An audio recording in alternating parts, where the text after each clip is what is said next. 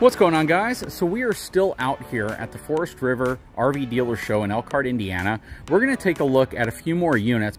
And we're just doing this kind of quick walkthrough of some of these units. So we're actually going to show you two of them now. So we're going to show you this unit right here, and then we're going to show you the Brookstone. This is going to be a really good example of some of the differences between a Chaparral in terms of size versus a Brookstone, because that's really where the differences are. There are some uh, cosmetic differences, like tile backsplashes, things like that, that you can get in a Brookstone. Um, but for the most part, almost everything you can get on a Brookstone, you can get in a smaller and possibly more affordable Chaparral. So these are always things to consider. Anyways, guys, we're going to start with the Chaparral, then we'll move to the Brookstone. Hang tight, I'll be right back.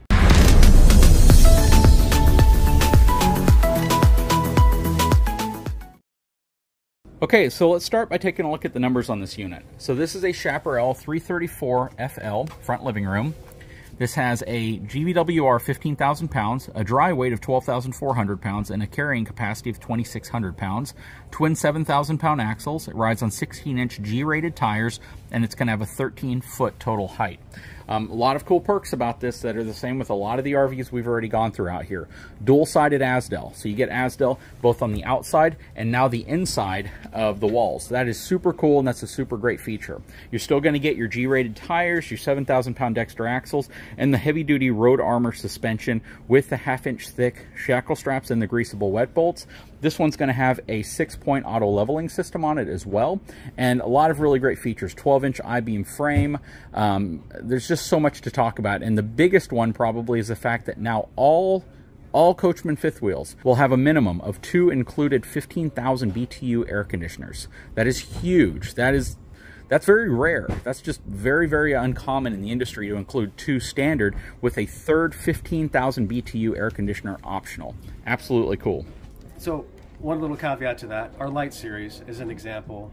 We would not have the third AC option. So, Just because it's short. It, eh, correct. Yeah, it's a shorter unit. on, yeah. on a light series or a 298 RLS, but anything 336 and larger, you'll have that option for a third AC. Okay, so pretty much all of your larger units are going to have it. Absolutely. Very cool, as an option at least. Awesome. Well, let's take a look inside of this unit real quick so we can move on to the Brookstone. We're going to go up the uh, Lippert solid steps. You don't know what that is, this means this step is going to have the deeper top step and it's also wider than the competition. Love that Azdel. Now this is a front living room unit. Kind of pan around here real quick. Dave's rushing to turn on lights and turn on fireplaces. It's early in the morning. So this is really cool. So this is going to be a front living unit, very traditional in the sense that you're going to have your dual opposing slides. These will fold out and give you this enormous bed for kids to jump on and play around all night and on. So here's one difference between the Chaparral version of the front living room and a Brookstone. In the Brookstone, there's actually space to walk in between here when the two hide-a-beds come together. In the Chaparral, they come all the way together, butted right up against each other. So the kids could have this massive popcorn party up top mm -hmm. here mm-hmm. with the TV and the movies and all that good stuff. Um, theater seats, heat, massage, LED lights, that's standard across the board, even in our light series. On a day like this, the heat really comes in handy. Yeah, sure would. So something to think about, and this really kind of epitomizes the difference of a wide body unit versus a standard body. This is an eight foot wide unit, and a lot of folks are like, well, what does five inches make?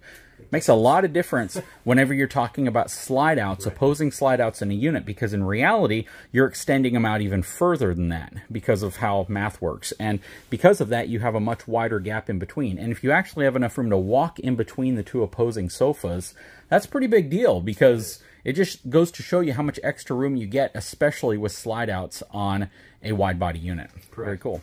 And as you notice, this will actually have two air conditioners in the main living area. So this will be zone A. Zone B would be in the bedroom. Very cool. And all 15,000 BTU All 15,000 BTU. That's mm -hmm. awesome. All right, let's come down this way. Okay, so now we are in the kitchen. David, tell us what's going on in here. Okay, lots of countertop space. You've got room for, well, little buffet area over here. You've got a lot of countertop, solid surface countertop, by the way, because we're in a mid-profile chaparral. That's an option. You've got the high-rise faucet. You've got all stainless steel appliances over here. We're using the larger oven across the board, too. A lot of brands, they'll save some cost, go to a 17-inch oven. This is a, a full 21-inch oven. Another cost save you see with other brands, they'll put a false panel here. We put a full drawer, 100 pound ball bearing drawer guide. It's a great pots and pans storage area. A lot of storage over here as well. Massive 17 cubic foot That's a 12 volt refrigerator. Okay, works great in tandem with the 190 watt optional solar panel. Over here, you've got massive amount of window. Okay, so more of our atrium style windows. We've gotten rid of the fabric over here across the board on all of our products. You've got the nice blackout shades. Gotten rid of the fabric here. This is actually a faux fabric, but it wipes clean. It's more of a pleather. Yeah, actually material. feels like a microfiber. It it's does, really cool. yeah, but it's re- it's still soft to Yeah. the touch. We've removed carpet from the slides. Okay, you've got the extra leaf for storage here, storage in the chairs themselves. Mm-hmm. So, little extra storage over here in the corner as well. And JD, for you, you've got your coffee maker. Got your coffee maker station. Absolutely. If you give me the coffee maker, that changes things completely. Maybe you should start including a coffee maker in these things. Let's call it the JD edition. So over here, you've got a huge pantry. Now, in a Brookstone, this would be an extra half bath. Okay, Mm-hmm. so we did it both ways so that we can give our customers two different options. Very cool. And this appears to be a spot for a trash can. It is. That's cool. This is actually a big stress for a lot of folks. They get their RV and they're like, where in the world do I it put my trash can? You can fit a full-size trash can in there. Coming into the bedroom area, okay? You've got your little extra storage nooks over here, okay? I can't believe the amount of storage in this unit. I mean, we're talking, look at this. Look at this. I mean, it's so much wardrobe space. Overhead storage here on both sides of the TV location. Huge windows. All the storage down below. If you pan around behind you, JD, you've also got storage here. This lifts up for Oh, that's cool. So you put the flip up on both. There. Basically, oh. wherever you could put it, you put it. Shoe storage down below here, overhead storage, charging everywhere, USB charging. We made these extra large if you want to put a cell phone up here, that's easy to do. There's USB charging on both sides as well. Nice cross breeze, blackout shade windows. Very cool. Option for a king size bed with lots of storage underneath here as well. Nice. And I like that it's trimmed off real well. Going into the master suite over here, JD. Check this out.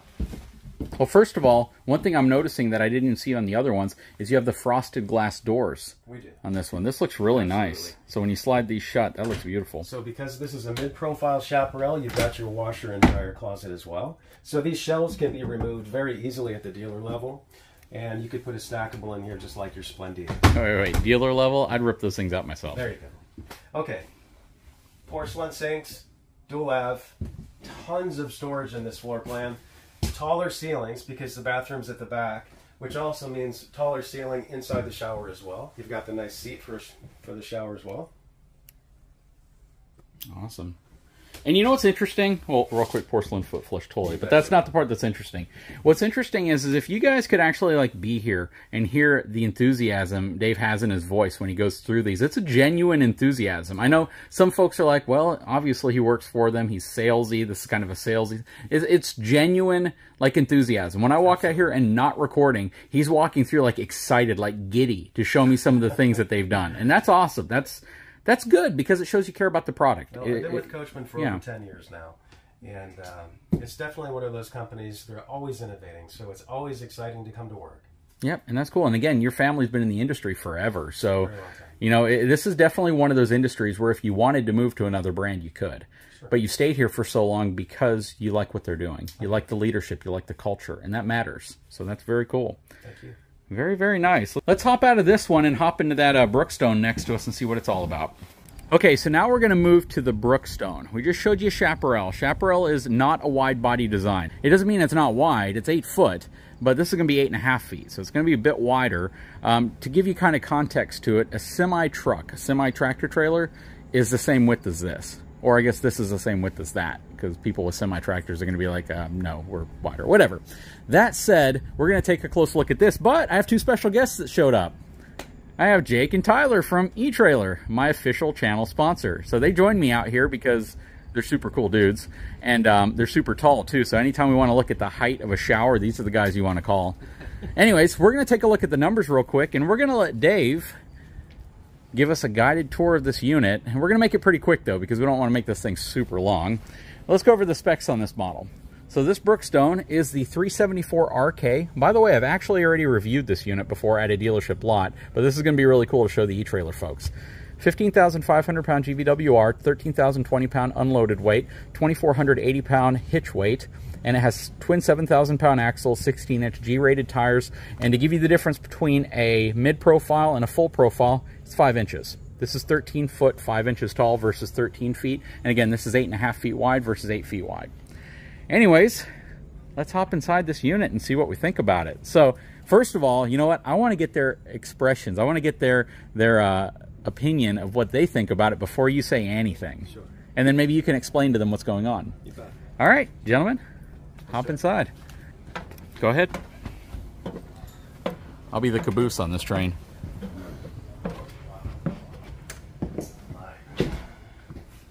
Yeah, That's a lot of space. yeah. Right away, I was thinking I, I like the layout, the separation of the kitchen, living room. Gives you that space to kind of, you know, family can be hanging out while you're prepping dinner, stuff like that. Beautiful finish all around it. Yeah, I like how it's kind of separated. Usually, you only see this setup in a toy hauler, Right. Because you have to. But I like how you incorporated this. Um, you know, you could have your separate space for everybody in the back, but then if you know you at the end of the day or beginning of the day you want to start here by watching some TV, you can. You betcha. So, I mean, it's basically a chef's dream kitchen. When it comes to countertop space, this would be my little workstation for my computer. I've got the charging outlets and everything right here. I can put my laptop here and watch the news. I've got windows surrounding me all the way around. You've got countertop space everywhere. Pantry storage is just massive. Okay. So, in the main kitchen area, extra large 17 cubic foot 12 volt fridge works fantastic with the solar panels. Over here, just look at the size and depth wow, over here motion sensor lights on the inside. And JD, we even include, I know you've got your own little coffee station in this one as well, but the 110 outlet inside the pantry, if you wanted to put a small Keurig inside here, you can do that. Oh, very cool. Look at all the overhead space here. JD, the brand new Insignia oven is a standard feature. I don't wanna talk about that. Brookstones. I don't wanna talk I'm about that. sorry. Gonna have to build you a new unit. lots of drawers, lots of overhead, lots of storage down below here. You've got your countertop, nice high-rise faucet. Mm-hmm. Over here, stainless appliances, and your massive coffee station. Well, it's a workstation right now, but Yeah, that's awesome. And like I said, I always mention coffee stations because it's not necessarily a coffee station; it's a kitchen appliance station. Coffee Keurig machines they're they're pretty large now. So to put an Instapot there, to put a, a Foodie, Ninja, those types of things there, I think makes sense. And when you say coffee station, it just means a spot that you can put one of those things with power. Mm-hmm. So that's really cool. From a height perspective, this guy's 14 foot three. How do you feel in here? This is this is very comfortable. Very comfortable. These are More s- than enough space. these are seven-foot tall slides. He's six five. Reach your arm up. Touch the ceiling for me. Wow, wow, that's actually kind of embarrassing. So, JD, over here in the slide outs, you want to pan out just a little Sure. bit. You'll notice we've removed all of the carpet from the slides. That was one of your, you know, highest customer feedback items that we saw from your videos. So that's gone. Um, I know a lot of customers like to see, you know, these vents here up in the cabinets. Our biggest problem with that, JD, is you're going from four-inch ducts down to small two-inch ducts in a lot of scenarios, and they're being ducted through cabinetry. You lose cabinet space and you lose efficiency. So we're maintaining with the four-inch ducts through the floor. You've got heat, massage, LED lights. You've also got trifold hide-a-bed sofas, but dual theater seating in this floor plan. Yeah, that is really cool. You know what, Jake, Tyler, let me know what you think of the dual theater seating. We got plenty of armor here. Yeah, fight for it. You got to turn on the massage and the Oh, heat. the over massage here. is on. Goodness. We're pushing like 50 degrees here today, so. Okay, this is gonna be a short video. Yeah, we'll continue the tour without y'all. yeah. Might take a nap on this as well. Now, JD, if you pan up, one special feature in this Brookstone is it has three ACs. Okay, so we have a special power management system. These are actually three 15K ACs. But that's not super special because you guys offer three ACs in almost everything now. Your unit has three 13.5 ACs. Ours now have 15K across the board. So, in order to do that, we had to put in a power management system. So, it'll automatically switch. Say you set your temperature to 72 degrees, 99 degrees outside, whatever. This will have no problem keeping up. So, it'll automatically switch between two zones. Now, say it's time to go to bed, you want to switch that manually. So, you can do that by a toggle switch just in the hall up here. That's very cool. Very cool. So this is going to be the big test now because we have the the the tall guy with us. This is the tester. So let's work our way to the front of this unit. We'll stop halfway to go to the bathroom and just kind of see how tall things are for him. Little coat closet over here, your controls. All right. I can still stand up comfortably.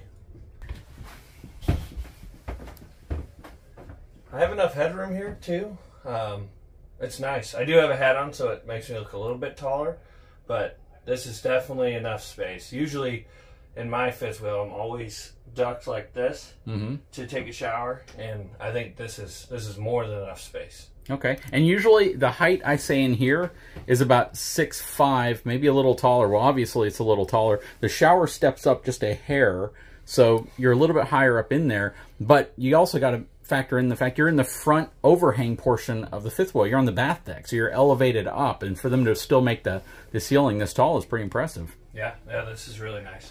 You know, I never get a tall guy with me whenever I'm, I'm doing RV reviews. I'm gonna have to like fly you in just to walk through RVs with me. Then we'll do RPod reviews. Yeah, there's even up the furthest point forward. It's still there's still more than enough room. That's awesome. King size bed. You want to hop on the bed? Do it. This guy is not afraid to do anything.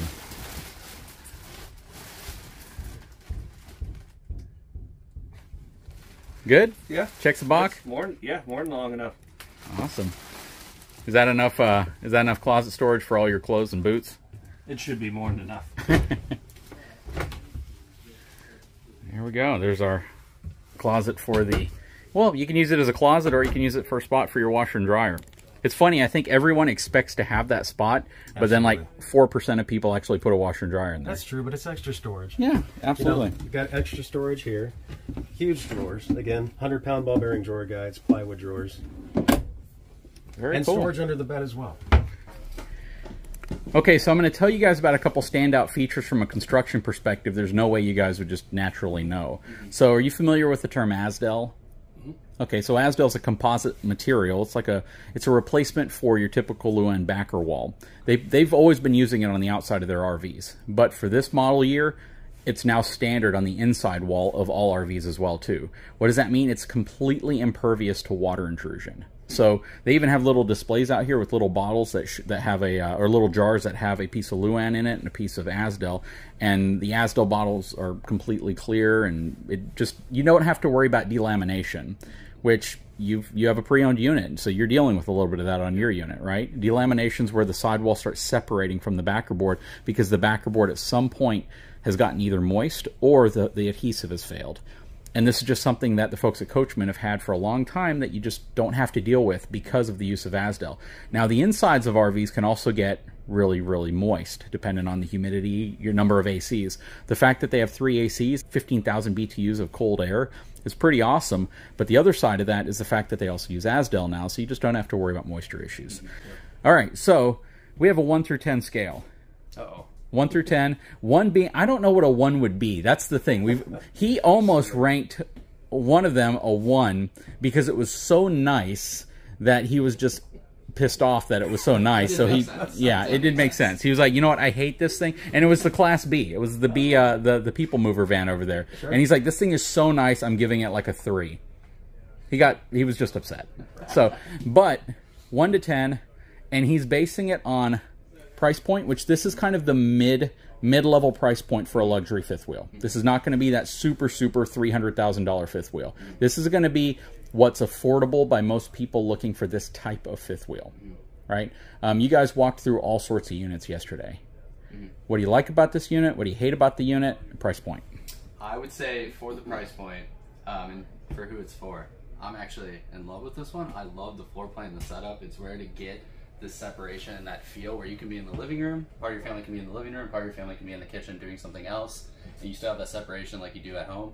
Um, also, it's rare to see an island inside an RV that doesn't create um, tight points that you have to squeeze through constantly. It makes sense, it fits. Um, so I'm gonna give it a nine for the price point. Awesome. I'm going with strictly for uh, height purposes, and I'm a huge foodie, and I like spending time inside when it's colder out. Um, I'm going to give it a nine eight.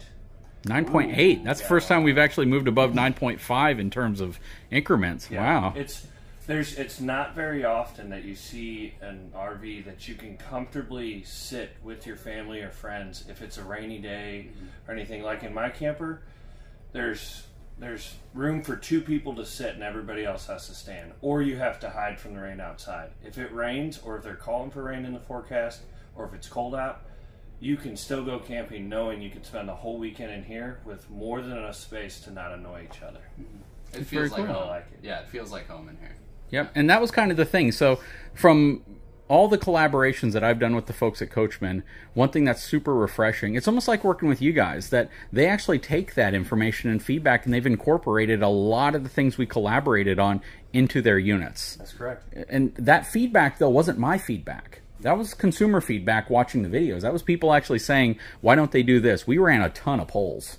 And. I'm going to say 80% of them you guys have now incorporated it in. There's a few that we didn't, only because some are cost prohibitive, some are equipment related. You just can't get the parts. I mean, these guys know better than anybody else the supply chain difficulties right now. So yeah, it's very interesting because when we talk about supply chain issues, you know, we have the e-trailer folks here right now who have absolutely dealt with them, and then we have the RV manufacturers, the OEMs who have actually absolutely dealt with them. Well, again, guys, I really appreciate your time. Thank you, thank you guys for coming out here and uh, and kind of doing this tour. It's, it's pretty awesome, and you guys spend a lot of time in RVs uh, over the last couple of days.